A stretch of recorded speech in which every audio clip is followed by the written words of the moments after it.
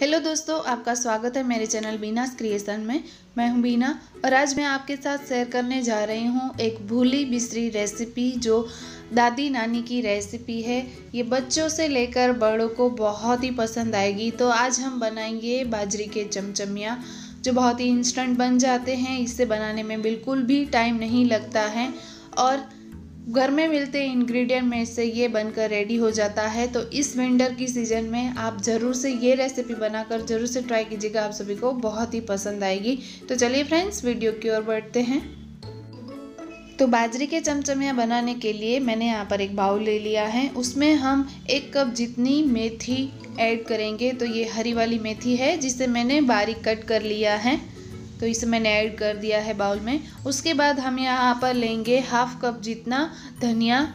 तो धनिया को भी मैंने अच्छे से धोकर उसको मैंने बारीक कट कर लिया है। उसके बाद हम यहाँ पर ऐड करेंगे हरा लहसुन। तो हरा लहसुन मैंने यहाँ पर करीबन वन थर्ड कप जितना लिया है। अभी विंटर की सीज़न है तो हरा लहसुन मार्केट में आसानी से मिल जाता है तो उसका आपको वाइट वाला और हरा वाला पार्ट दोनों ही आपको यहाँ पर ऐड करना है। इससे बहुत ही अच्छा टेस्ट आएगा।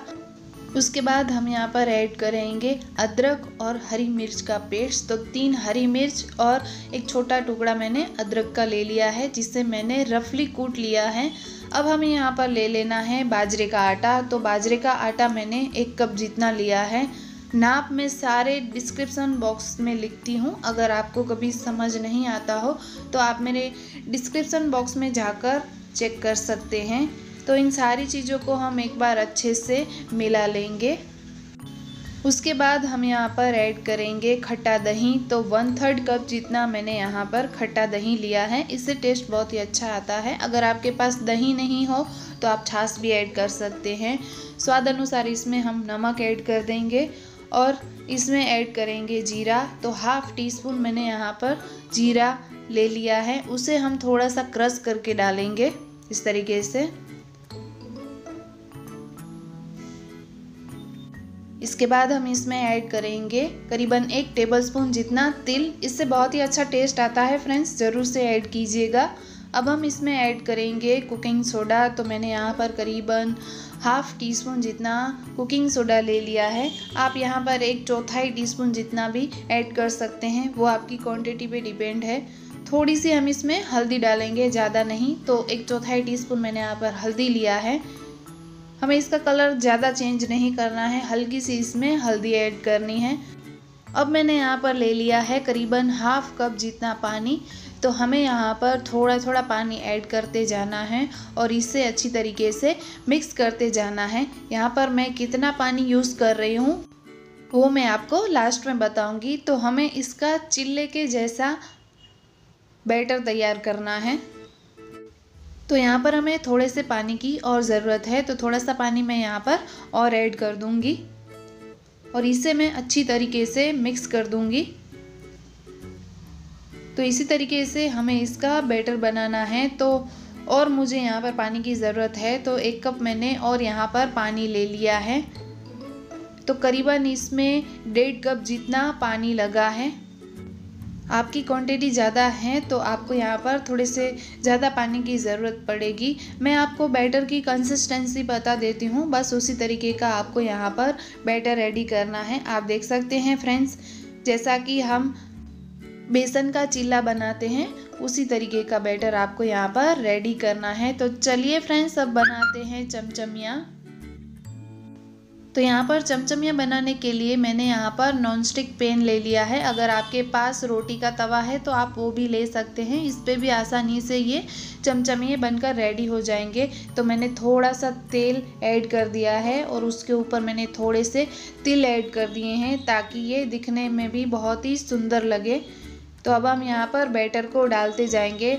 तो दो टेबलस्पून जितना मैंने यहाँ पर बैटर को ऐड किया है और उसे हमें एकदम से पतला पतला फैलाना है। ध्यान रहे दोस्तों कि हमें यहाँ पर इसे एकदम मोटा नहीं फैलाना है। अगर आप मोटा फैलाएँगे तो वो अंदर से कच्चा रह जाएगा, उसका टेस्ट आपको बिल्कुल भी अच्छा नहीं लगेगा। तो यहाँ पर आपको एकदम से पतला पतला बैटर को फैलाना है और जिस शेप में भी आप यहाँ पर चमचमियाँ बनाना चाहते हैं, अपने हिसाब से वो शेप दे सकते हैं। तो मैंने यहाँ पर इसे राउंड शेप में बनाया है। तो इसे हम एकदम स्लो फ्लेम पे ही पकाएँगे। ध्यान रहे कि हमें यहाँ पर हाई फ्लेम पे बिल्कुल भी नहीं पकाना है। ये जल जाएगा। तो इसे हम नीचे की ओर से पलट देंगे। तो इसे पलटाने में भी बहुत ही सावधानी रखनी है। एकदम नीचे से पक जाए, उसके बाद ही हमें स्पैचुला ऐड करके उसको पलट देना है इस तरीके से।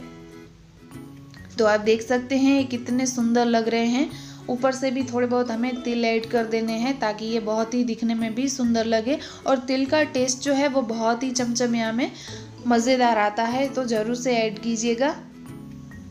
तो इसे हम नीचे की ओर भी अच्छे से पका लेंगे। तो आप देख सकते हैं ये कितने क्यूट लग रहे हैं।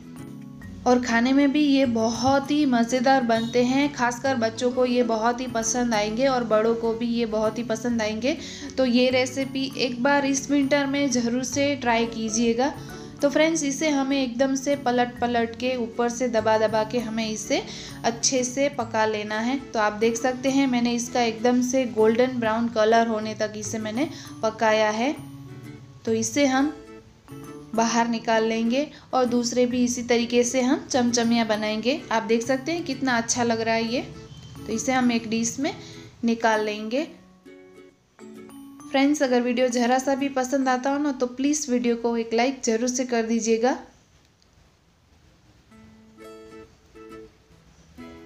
तो दूसरे भी हम इसी तरीके से चमचमियाँ बना लेंगे। पहले हम तवे पे ऑयल डाल देंगे। अगर आपको यहाँ पर तिल ऐड नहीं करने हो तो आप यहाँ पर स्किप कर सकते हैं। तो इसी तरीके से हमें सारे चमचमियाँ रेडी कर लेने हैं। तो फ्रेंड्स ये बहुत ही इंस्टेंट रेसिपी है।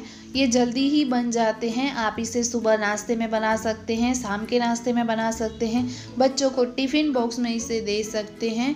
इसे आप सॉस के साथ खा सकते हैं, हरी चटनी के साथ खा सकते हैं, लहसुन की चटनी के साथ खा सकते हैं, बहुत ही ये मज़ेदार लगते हैं। तो बाजरी के चमचमियाँ बनकर बिल्कुल रेडी है। तो फ्रेंड्स कैसा लगा है मेरा आज का वीडियो मुझे कमेंट बॉक्स में कमेंट कर कर ज़रूर से बताइएगा। और अभी तक आपने मेरे चैनल को सब्सक्राइब नहीं किया है तो प्लीज़ सब्सक्राइब ज़रूर कर दीजिएगा। मैं फिर मिलूँगी ऐसी ही एक नई रेसिपी के साथ, ऐसे ही एक नए वीडियो के साथ। तब तक के लिए बाय Thanks for watching.